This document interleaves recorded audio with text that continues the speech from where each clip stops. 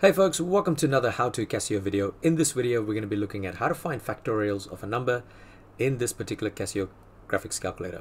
So without further ado, let's get started. Alright, so what are factorials? Now, factorials are when you see a number with a little exclamation mark after it. What it generally means is that all you're really wanting to do is 4 multiplied by 3 multiplied by 2 all the way up to 1. So if you take something like 10 factorial, you would do 10 times 9 times 8 times 7, all the way up to 1.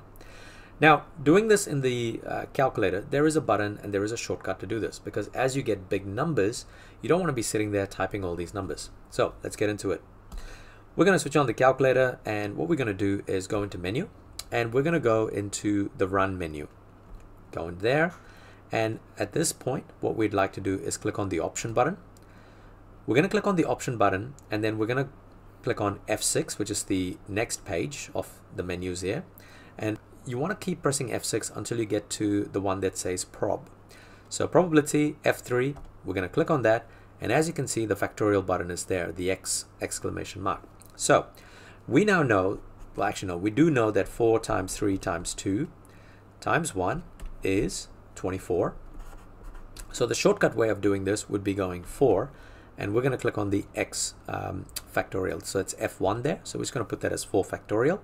And when we do that, we get 24. So let's think about 10 factorial. So with 10 factorial, you could actually go 10 times 9 times 8 times 7 times. Oh, okay, this is just taking too long. So instead, what you could do is you could just go 10, and we're going to click on that x, x exclamation mark, which is the factorial button.